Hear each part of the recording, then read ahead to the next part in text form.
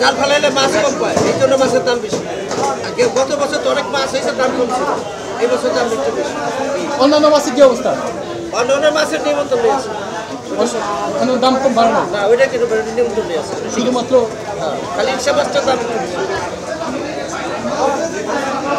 আসলে এই দুই দুই এক সপ্তাহের মধ্যে সব কিছু স্থিতি আছে।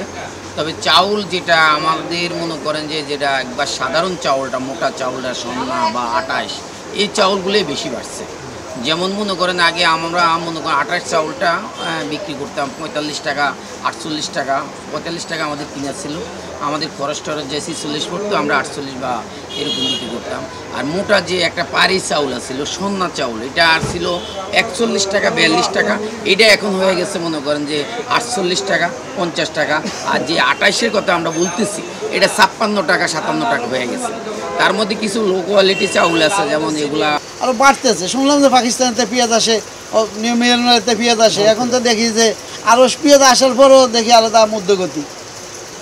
কত ইলিশ মাছ আগের তুলনায় এখন একটু দাম বাড়তে কারণ হচ্ছে যে কিছুদিন আগে আপনার গত সপ্তাহে ছিল আপনার এক কেজি এক কেজি সেগুলো পনেরোশো পনেরোশো পঞ্চাশ টাকা ছিল। হঠাৎ করে দুই একশো টাকা বাইরে গেছে। বাইরে যেহেতু সেগুলো সত্তর টাকা কেজি কিনতে এক কেজি একশো গ্রাম বা দুশো গ্রাম এরকম সত্তর টাকা কেজি কিনতে হয় এখন নদীতে হ্যাঁ? বিক্রি? বিক্রি সত্তরশো পঞ্চাশ পঞ্চাশ টাকা কেজি লাখ করে বেশি কিছু কম এক কেজি?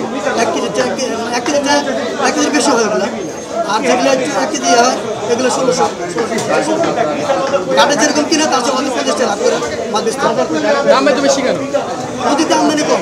এই যে বর্ষায় পানিতে মাছ পড়ে গেছে। এখন ধরা পড়তেছে কম।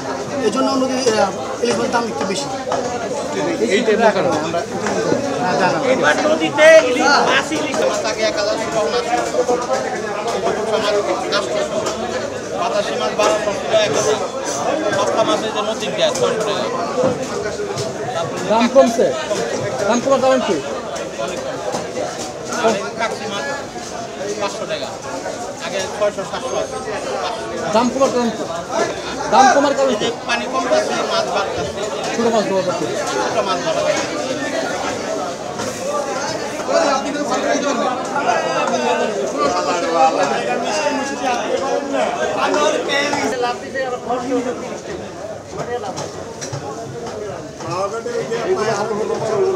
এগুলো যেটা খাটে আঠারোশো টাকা।